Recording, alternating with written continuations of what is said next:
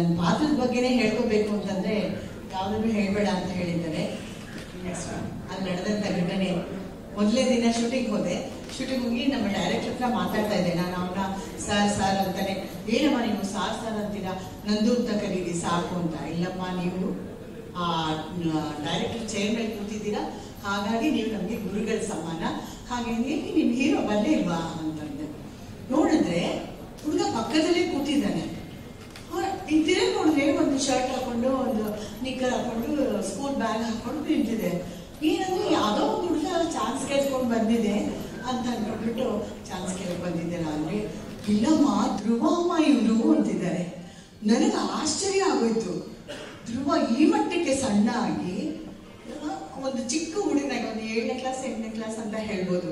ಆ ಥರ ಹುಡುಗ ಬಂದಿದ್ದಾನೆ ಅಂದ್ರೆ ನನಗೆ ಅವನಲ್ಲಿರೋ ಶ್ರದ್ಧೆ, ಭಕ್ತಿ, ಆಮೇಲೆ ಚೇಂಜ್ ಓವರ್ ಆದಾಗ ಹೇಗೆ ಅವನು ಒಂದು ಆ ಬಾಡಿನ ಬಿಲ್ಟ್ ಮಾಡ್ಕೊಂಡಿದ್ದ ಅಂತಂದ್ರೆ, ಒಬ್ಬ ಕಲಾವಿದ್ರು ಅಂದ್ರೆ, ನಾವು ಅಣ್ಣವರಲ್ಲಿ ನೋಡ್ತಾ ಇದ್ವಿ ಅದರ ಆ, ಆಯಾ ಪಾತ್ರಕ್ಕೆ ತಕ್ಕ ಹಾಗೆ ತಮ್ಮ ದೇಹವನ್ನು ಸರಿ ಹೊಂದಿಸೋದು ಅಂತ. ಸೊ ಈಗ ಈ ಹುಡುಗ ಇಷ್ಟೊಂದು ಶ್ರದ್ಧೆಯಿಂದ ಮಾಡ್ತಾ ಇದ್ದಾನೆ ಅಂದ್ರೆ, ಅವನಿಗೆ ಯಶಸ್ಸು, ಕಟ್ಟಿಟ್ಟ ಬುದ್ಧಿಯಿಂದನೇ ಹೇಳ್ಬೇಕು ಇದು ಯಾವುದೇ ಭಾಷೆಯಲ್ಲಾಗಿ ಜನಪ್ರಿಯವಾಗಿ ಜಯಭೇರಿನ ಬಾಸಲಿಂದ ನಾನು ಹಾರೈಸ್ತೀನಿ ಥ್ಯಾಂಕ್ ಯು ನನಗೆ ಕೊಡೋದಕ್ಕೆ ನಮಸ್ಕಾರ ಎಲ್ಲರಿಗೂ ನಮಸ್ಕಾರ. ಮೊದಲನೇದಾಗಿ, ನನಗೆ ಈ ಚಿತ್ರಕ್ಕೆ ಕರೆದು ಒಂದು ಸ್ಥಾನ ಕೊಟ್ಟಂತಹ ಬಿ ಕೆ ಗಂಗಾಧರ್ ಅವರು ಹಾಗೆ ಕೊಟ್ಟ ಸ್ಥಾನವನ್ನ ಇನ್ನೂ ಮೆರುಗುಗೊಳಿಸೋದಕ್ಕೆ ನನ್ನಿಂದ ನನ್ನ ಕೈಲಾದಷ್ಟು ಒಂದು ಕೆಲಸನ ತೆಗೆದಂತಹ ನಂದಕಿಶೋರ್ ಅವರು ಹಾಗೂ ಮತ್ತೊಬ್ಬ ವ್ಯಕ್ತಿ.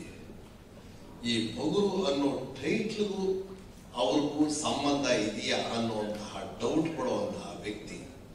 ಅವರೇ, ಈ ಚಿತ್ರದ ಹೀರೋ, ಧ್ರುವ ಸರ್ಜ ಅವರಿಗೆ ಈ ಟೈಟ್ಲು ಸ್ಕ್ರೀನ್ ಮೇಲೆ ಚೆನ್ನಾಗಿರುತ್ತೆ.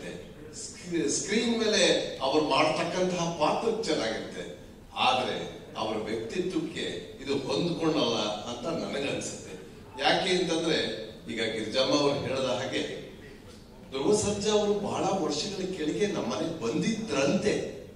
ಅದು ನನಗೆ ಗೊತ್ತಿರ್ಲಿಲ್ಲ. ಆಮೇಲೆ ಅವರು ಯಾವುದೋ ಒಂದು ಸಂದರ್ಭದಲ್ಲಿ ಮಾತಾಡ್ತಿದ್ದಾಗ ಹಣ ನಾನು ನಿಮ್ಮ ಬಂದಿದ್ದೆ ಅಂತ ಹೇಳಿಬಿಟ್ಟು ಆ ಫೋಟೋ ತೋರಿಸಿದ್ರು. ನನಗೆ ಶಾಕ್ ಆಗೋಯ್ತು. ಅವಾಗ ಎಷ್ಟು ಚಿಕ್ಕ ಹುಡುಗ? ಆ ಚಿಕ್ಕ ಹುಡುಗ ಇವತ್ತಿನ ದಿವಸ ಯಾವ ಮಟ್ಟಕ್ಕೆ ಬೆಳೆದಿದ್ದಾರೆ ಆತನಲ್ಲಿ ಏನು ಪ್ರತಿಭೆ ನಾವು ಕಾಣ್ತಾ ಇದ್ದೀವಿ? ಇವೆಲ್ಲ ಕೇಳಿ, ಇವೆಲ್ಲ ನೋಡಿ, ಅದರ ಜೊತೆಗೆ ಅವರು ನಟಿಸಿದಂತಹ ಸನ್ನಿವೇಶಗಳು ಎಲ್ಲವೂ ನಮ್ಮ ಜೊತೆ ಸಹ ಕಲಾವಿದರ ಜೊತೆ ಸಹಕರಿಸುವುದು ಸಾಮಾನ್ಯವಾಗಿ ಒಂದೊಂದ್ಸಲ ಅದು ಪ್ಲಸ್ ಪಾಯಿಂಟ್ ಅಂತ ಹೇಳ್ತೀವಿ. ಹಾಗೆ ಅವರು ಸಹಕರಿಸಿದಂತಹ ರೀತಿಲಿ ನಾವು ಇರೋದ್ರಲ್ಲಿ ಏನಾದ್ರು ಒಂದಷ್ಟು ಹೆಚ್ಚಿಗೆ ಆಕ್ಟ್ ಮಾಡೋದಕ್ಕೆ ಸಾಧ್ಯವಾಯಿತು. ಬಹಳ ಥ್ಯಾಂಕ್ಸ್ ಧ್ರುವ.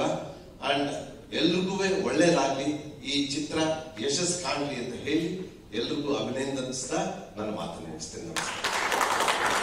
ಧನ್ಯವಾದಗಳು